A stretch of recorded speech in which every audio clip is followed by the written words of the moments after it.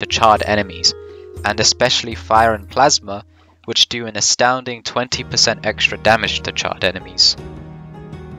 All of these interactions give explosion magic great combo potential, making it a great second magic, but an even better first magic. When using explosion magic as your first magic, you'll want to either use ash, fire and plasma as your second magic as they can all react off of each other. Even though magma can react with explosion for an extra 10% damage, it cannot be used to petrify enemies, which is the main reaction you'll be using explosion for, and so you should avoid it. When you hit a charred opponent with ash, fire, or plasma, they will immediately become petrified. Petrification freezes an enemy in place. You can tell someone has been petrified as a prompt will appear saying petrified and they will turn into a grey statue.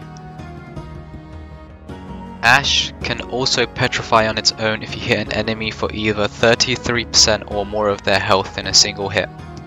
However, you won't regularly petrify enemies in this way. This is only effective against low health enemies who you can actually do 33% or more damage to. You rarely will ever directly petrify bosses and other players. Anyways, to help you decide whether you should choose Ash, Fire or Plasma, I will quickly discuss each magic. Ash magic is the largest of the three. It does the most damage in a single hit. It does not apply a status effect like Scorch or Burn, meaning it has less combo potential, unable to directly buff the damage of your explosion magic. Your magic attacks leave behind ash clouds that linger around for some time and do much more damage over time than fire and plasma, but only if the enemy is inside the ash cloud. It can also immediately petrify an enemy if you do 33% or more of their health as damage in a single hit. Overall, use Ash if you want to mainly spam explosion magic and only use your second magic once in a while to activate Petrify against charred enemies, or if you want to have better area denial from the lingering clouds. Explosion magic greatly benefits from having a lot of attack size to make the explosions bigger, which greatly synergizes with Ash, making the Ash clouds bigger too.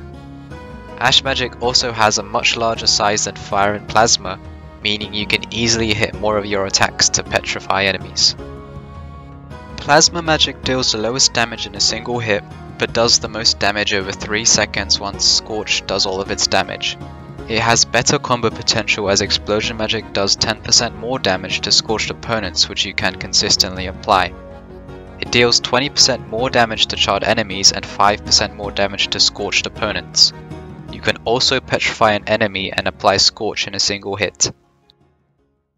Overall, use Plasma if you want to constantly combo your second magic with your first magic and directly apply good damage over time to your opponents. Fire does slightly more damage in a single hit than Plasma and applies Burn, which lasts 5 seconds instead of 3 like Scorch.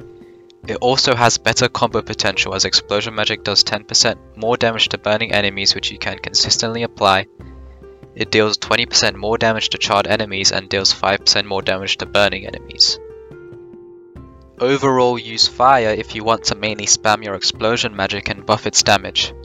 As the burning status effect lasts for 5 seconds instead of 3, you have more time to spam your explosion magic and don't need to worry about constantly swapping to fire to apply burn. So to summarize again, Use Ash for better build synergy and area control and use Plasma or Fire if you want to consistently combo with your explosion magic. Plasma does more damage than Fire but you'll need to constantly swap to Plasma to apply Scorch. Even though Petrification is the main reaction you want to go for with Explosion, be careful as when you do petrify an enemy it doesn't last long at all, meaning you might not even be able to get an explosion hit off and do the 20% extra damage of explosion against petrified enemies. Because of this, you might want to have some intensity in your build. The more intensity in your build, the longer petrification will last. Of course you can obviously go for as much power as possible.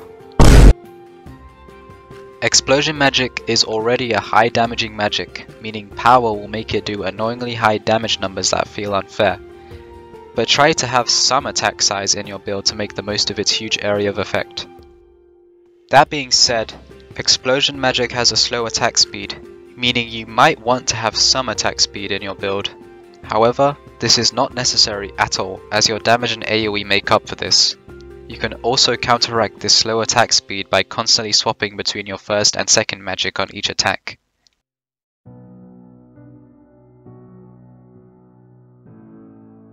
Here are a few final pieces of information about Explosion. It has 12 clash advantages and 3 clash disadvantages against lightning, plasma and metal. The charred status effect partially obscures your opponent's vision, and it creates an explosion upon clashing with poison. Explosion magic cannot be used underwater and neither can ash, fire or plasma meaning your entire build will be useless underwater. However, if you are swimming on the surface of the water you can shoot out of it and use your leap ability to jump out of it. But if you use any ability on any of these magics underwater or shoot at water, it will evaporate. I personally have been using Explosion and Ash, and after testing Explosion and Plasma for some time now, I am going to continue to use Explosion and Ash. When it comes to Explosion and Plasma, even though the damage is technically higher, it is only higher by a small amount and it isn't really noticeable. It is also tiring to constantly swap between explosion and plasma to constantly combo to make the most of the higher damage potential. Especially when plasma magic is noticeably smaller than ash and easier to miss, which can be quite punishing to your damage potential. Scorch only lasts 3 seconds, meaning you don't really have much time to combo for the extra 10% more explosion damage against scorched opponents. I am also sticking with Ash as it has better build synergy.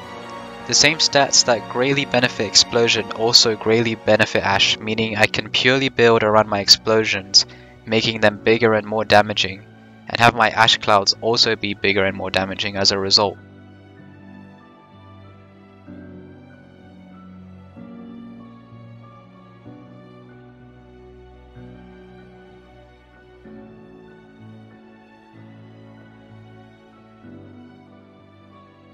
That being said, it really is just up to your preference which of the three you choose. If you are purely looking for the most damage possible then go for Explosion and Plasma, and if you are stuck choosing between Fire and Plasma, choose Plasma, but if you prefer Fire, then obviously choose it. That's all for this video. Make sure to leave a like and subscribe for more videos like these. If you have any questions or want me to showcase a build, make sure to comment below See you in the next one, guys.